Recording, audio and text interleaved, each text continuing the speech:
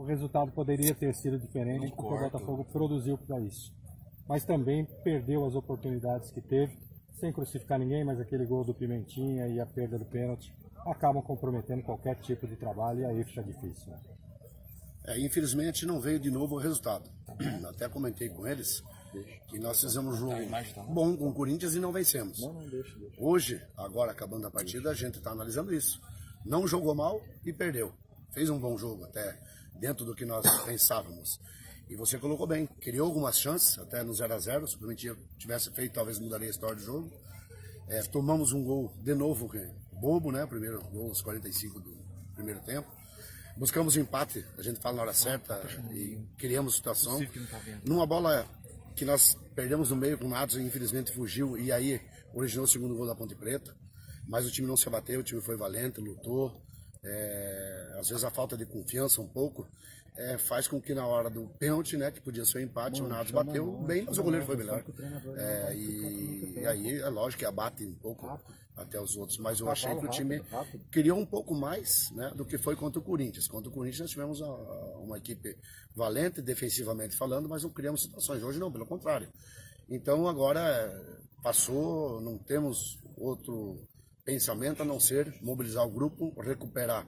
Amanhã à tarde já tem treino, porque o jogo é sexta, e nós temos que enfrentar o Bragantino dentro de casa, contar com o apoio da torcida, é uma hora que nós mais precisamos, não adianta, a hora que o Botafogo precisa da força máxima, e é um jogo também difícil.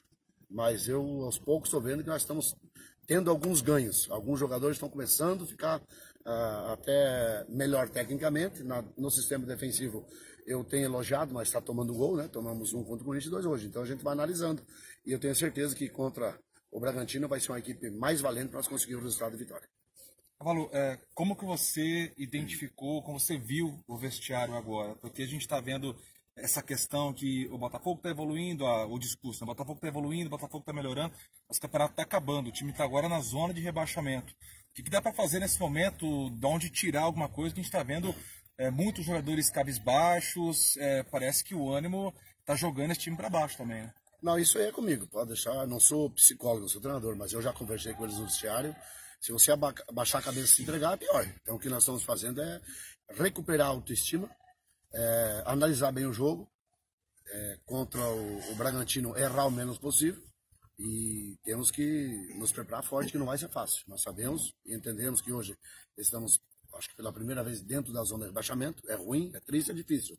Mas como eu falei agora há pouco, para a ajuda desses atletas, nós temos que contar com o apoio da torcida, pensamento positivo, acreditar que nós temos condições. A evolução da equipe está tá mostrando e agora mobilizar, como eu falei, contra o Bragantino e vencer dentro